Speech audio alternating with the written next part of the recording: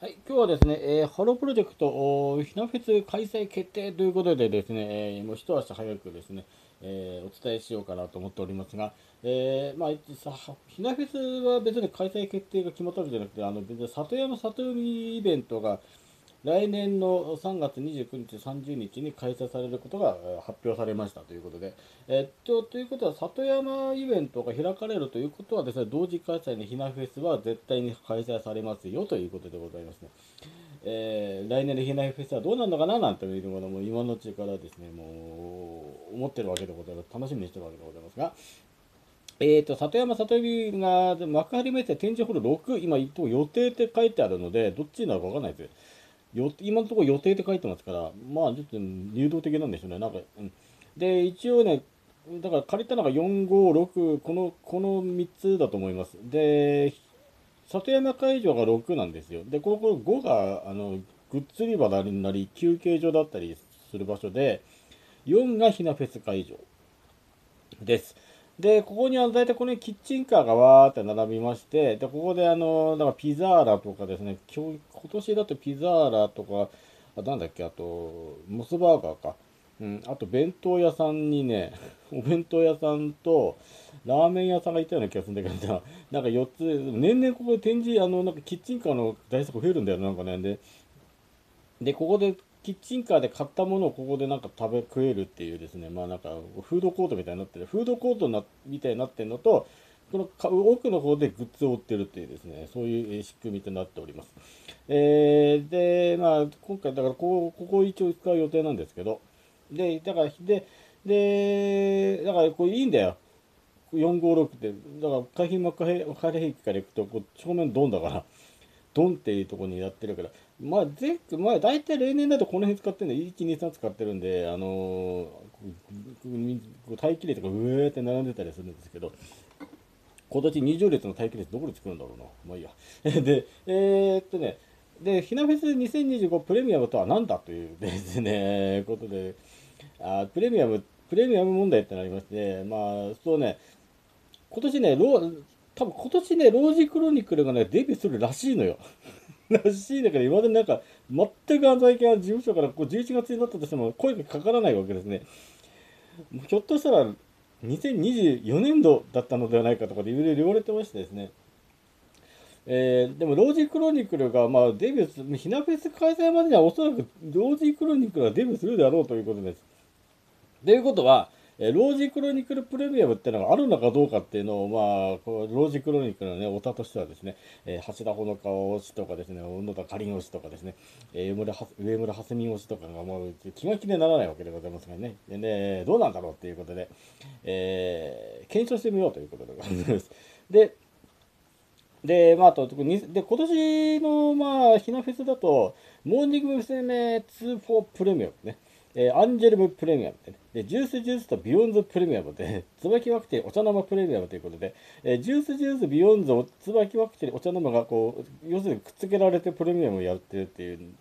あアンジュルムとモーニング娘。とか単独プレミアムだったっていうん、で、これね、ロージクロニクルプレ、ロージクロニクルプレミアムを設定しますと、アンジェルムも 2, 2グループ抱き合わせ販売ってプレミアムとなってしまうわけですね。4公演もここで入らなくなっちゃうから。で来年だとだからもしかするとモーニング娘。プレミアムだってアンジェルムとロージクロニクルプレミアムでこうやっていくと大体4公演で収まるわけだけど果たしてどうなんだろうかっていうのをちょっとねやってみたいんですけど、えー過去の事例過去の事例からまあ紐解いていきますとカントリーガールズっていうのが2014年11月結成されまして2015年3月25日でデビューしましたえー、拳ワクテリーが2015年1月2日結成しまして、2015年9月2日にメジャーデビューしてます。ということは、というとこの年のひなフェスには、じゃあカントリーガールズプレミアムあったかっていうと、ないんですよ。なかったんですね。えー、3月28日には、さだってだから3公演しかやってないんだもん、だって3月28日、16公演しかなかったんだから、この時。アンジュルムと Juice=Juice プレミアムね、3月28日ね。で、29日、日曜日がモーニング娘。えー、15プレミアム。えー、℃-uteプレミアムということでですね、えーこれ3公演しかなかったんですね。だからカントリーガールズプレミアムっては組まれてないんです。設定されてない。でも出演者には、℃-ute、モーニング娘。アンジュル、 Juice=Juice、カントリーガールズ、ハロプロ研修ってちゃんと貼られてクレジットは残ってるってこと。えー、だからおそらくね、あの、あれなんだよね、あのカントリーガールズってね、あの、じゃあ、プレミアムはなかったんだけど、全公演、あの、一応、対バンの時には出る、出てくるわけ。カントリーガールズドーンって。で、多分この時まだね、えー、恋してごめん、恋、えー、恋しちゃってごめんねと、恋泥棒しかなかった。あ、あなんだっけ。恋しててごめん、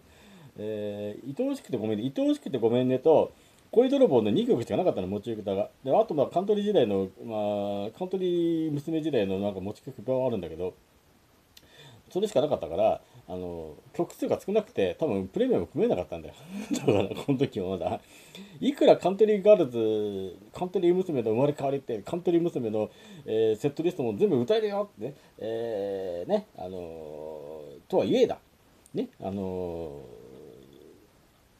ですけど、えー、ね、あの、なんとかハニーとか でも歌えるんだけど、でもそれ、それだけ持っててもプレミアム組まれてないんですよ。だから、なましては、拳ファクトリーなんてこの時のデビュー前ですからね。結成はしてるんだけど、拳ファクトリーってメジャーデビュー前なんで、出演者にも載ってないんですよ、これ。多分ハロプロ研修生のところ出てたはずだ、多分俺、拳ファクトリーってまだあのメジャーデビューしてないから、ここに、ここに集約されてない。で、カントリーガールズはギリギリであのー、3月25日、えー、なんか3日前ぐらいにデビューしてますから、ここに載ってるんですよ。ここにね、ハロプロのね、厳しいところがあるんだよ。ハロプロのね、厳格な厳しいところがあって、あのー、結成されたからといってはメジャーデビューはしてないんですよ。メジャーデビューしてないから、出演者には載ってないんですよ。で、ここにハロプロ研修生から、だってコブシファクトリ全員ハロプロ研修生だから、あの、この当時ハロ、コブシファクトリはここの枠で出てるんです。ハロプロ研修生で一緒に出てるから、浜ちゃんとか、タグちゃんとか、えー、小川玲奈ちゃんとか、ここに、ここにいるんですよ。だから、うん。で、で、椿ファクトリはどうなのかっていうと、椿ファクトリは2015年4月29日に結成。だから、このヒナフェスの1ヶ月後ぐらいに結成されてるんだね。でも、ですが、この後ね、インディーズデビューやって、2016年9月にメジャーデビュー発表がされまして、2017年2月22日にメジャーデビューしてるんで、キナフェス2016は、えー、っとね、あのー、ないんですよ。椿ファクトリープレミアムはないんですよ。ただ、出演欄に椿ファクトリーって名前はあるんですよ。で、これでね、あの、じゃあ、こびってやったことだって、メジャーデビュー2017年じゃん。なんで2016年に椿ファクトリーって出演欄にあるのっていうことになるでしょ？でね、あの、要するにねこれね、2016年に、あの、この辺あたりね、メジャーデビュー発表する前に、インディーズでデビューしてんだよ。椿ファクトリーって。つまり、あの、あの事務所、ハロプロっつうのは、ヒナフェスっつうのは、あの、名前、あの、名前で、まあ、一応全員出るんだよ。ハロプロ研修生で出る、出るんだけど、出演者欄に名前が出るか出ないかっていうのは、とにかくデビューしてるかデビューしてないかなんだよ。これは。デビューしてるかデビューしてないか。うん、だから、メジャーデビューだろうが、インディーズデビューだろうが、一応、デビューさえしとけば、しとけば、あの、ハロプロ名義で、あの、CD さえ売っとけば、出しとけば、インディーズデビューだろうが、なんだろうが、えー、名前出るんだよ、ここに。だから、ここに名前は出るんだけど、デビュー日が浅いと、あの、プレミアムは組めませんよってことになるわけです。じゃあ2017年で2月22日にメジャーデビューしてるんで、2017年の確か、でもこれ2017年ぐらいから多分あったんじゃないかな、名前は多分。名前で、あの、なんだっけ、あの、椿ファクトリープレミアムってあったような気がするんだよ、2017年って。だ、その時は多分おそらく、椿ファクトリーが、その、インディーズデビューから、あ、もう1年経ってるから、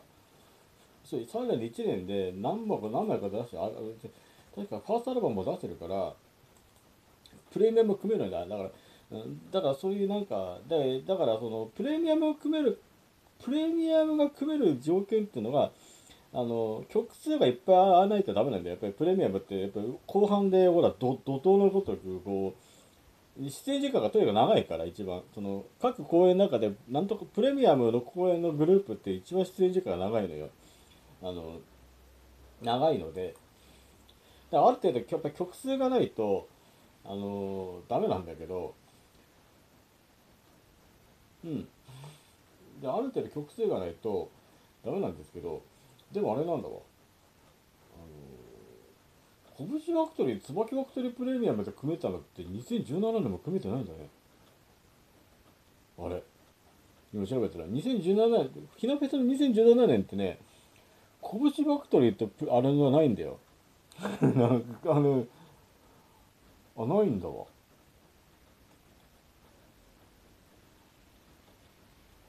じゃあ初めて組まれたの2018年か。あ、そうなってくるとあれか、あのー、こうなってくるとあれなんだね。ロージクロニックルプレミアムって作るのって何年後なんだろうこれだったら、このバージョンでいくと多分。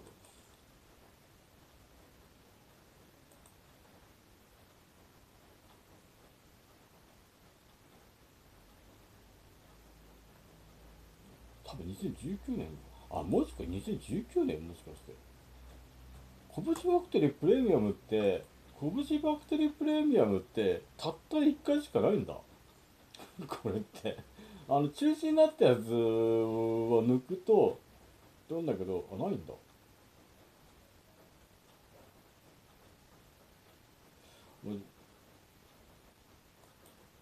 椿ファクトリープレミアムって1 回も組まれてないんだね自分でね今どんどん調べてんだけどあのあれ？おかしいな。あれそうだったっけ？椿ファクトリープレミアムって組む最初に椿ファクトリーのプレミアム組まれたので2021年なの。でも BEYOOOOONDSがね2021年にねあの組まれてんの。 BEYOOOOONDSプレミアムって。BEYOOOOONDS って2019年にデビューしてるからなんですけど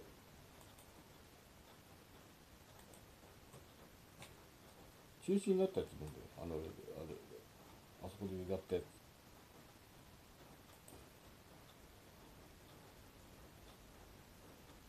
あ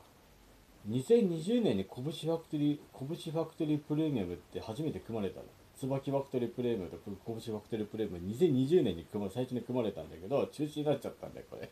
中止になっちゃったんだよ ここで初めて組まれたでもこの時参考3日公演なんだよね。あこういうバージョンもあるのか。うん。でまあとりあえずですねまあだからとりあえずねデビューしてもねあれ昔もしかするとねここでいくとロージクロニクルプレミアムって組めるのってもっと後かもしれないこれだから。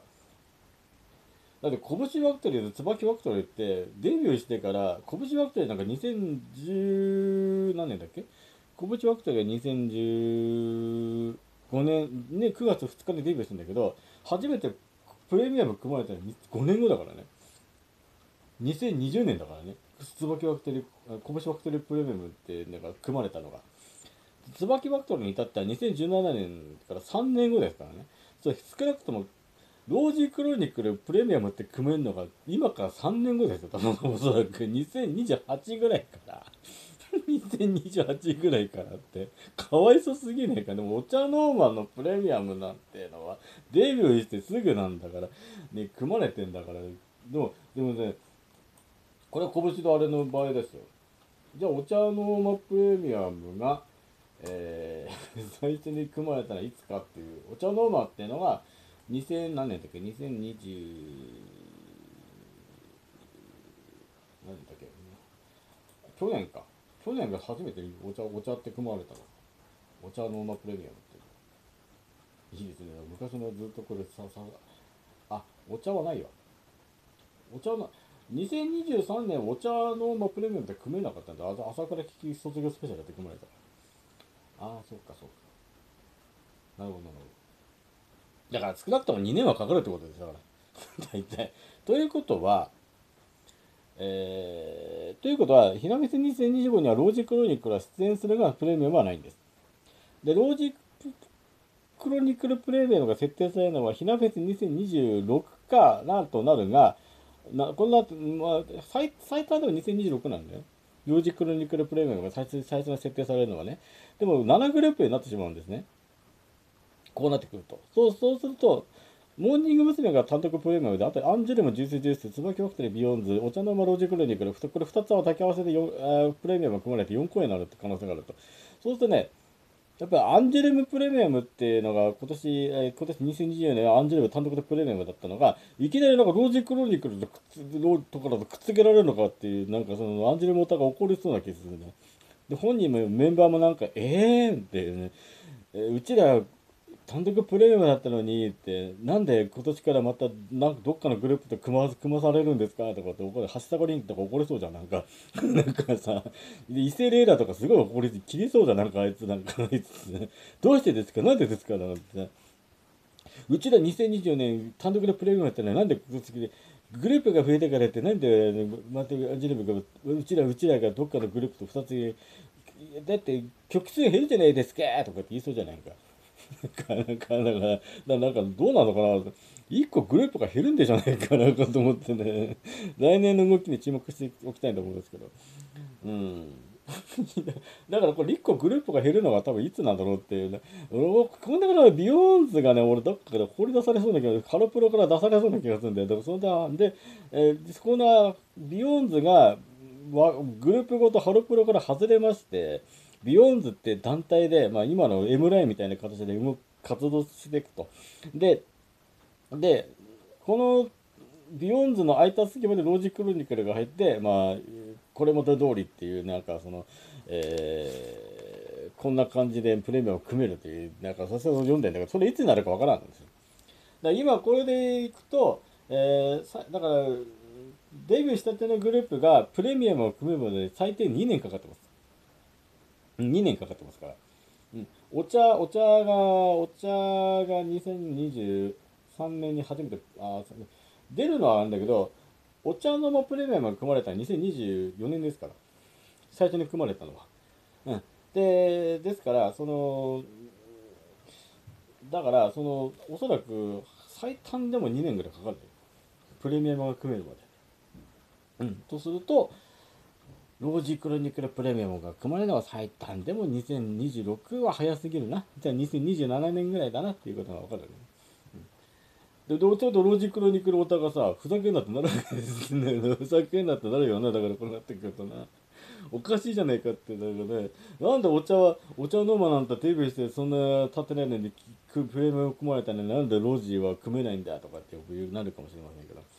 その時は多分来年、来年どっか3連休、だ3月中分の日あたりが3連休くらい組まれるとではないかなと、私は再来年のカレンダーのこと知らないからわかんないんだけど、うん、もしかすると、えー、まあ今カレンダー見てないとわかんないけど、もし3連休になるんだったら多分そこで多分お茶濁すような気がするんだけど、うん、まあそんな感じでございましてですね、えー、今後のひなフェスにかいかん、えー、ついてですね、えー、予想してみようということで今日やってみました。うん、というかあの、来年、2025年は、あの、ひなフェスが開催されますけども、まあ、今年、来年は多分今年と体制同じです。多分、モーニング娘。とアンジュルムがプレミアム組んで、えー、 Juice=Juice、 BEYOOOOONDS、つばきファクトリー、お茶が、あ2つグループでプレミアムを組んだ。で、ロージクルグリニクルは、あ出演だけ。で、出演だけで、えー、多分、えー、デビュー曲の「タンタラタンタラタンタラタン」ってのと多分あれなんか歌ってたから多分あれはあれが多分デビューシングルになると思いますので、えー、なんだっけあれ曲名忘れちゃった。あとなんかその歌あのローあのミステイクとか歌うと思うよあと何あの素肌ねあ違うあれなんだけど歌う歌う歌うと思いますよ。ロージーさんは多分おそらく、えーあの、あの研修生ユニット時代に散々歌ったやつ、うん、は、あれ多分持ち曲になると思うんで、あれを多分どっかで披露すると。2曲ぐらい出てくる。だから対バンの、対バンで、ひなフェスって対バンだから、あの、対バンと出ますよ。うん。あの、多分一番、ハロプロ90の次に出てきます、ロジックロジックは多分おそらく。うん。で、えー、出てくるんだけど、多分それでも2、2 3曲ぐらいやって終わりですと。多分、もっとあるかな。でもなんかグループが減ると、俺、公演時間って決まってるから、何か削られい、いろんなグループが1曲ずつで削られて、ロージクルニックで回されるから、まあいいんだけど、うん。あの、出番はある。ロージクルニックの出番はある。あるんだけど、まあ多分おそらく、2、3曲ぐらい歌って引っ込むと ででそれだけっていう単独ステージはそこだけであとは「えー、桜ナイトフィーバー」とかですね一番ラストの曲でなんか歌う時にドードーって出てきて一緒に出てきて歌うっていうねうんまあ、そんな感じの展開になると思いますので、えー、これがいつまで続くのかってのは分からないです。来年も続くか、再来年も続くのか、えー、プレミアムは設定されるのかどうか分かりません。というわけでございまして、今日はひなフェス開催決定について動画を撮ってみました。以上です。はい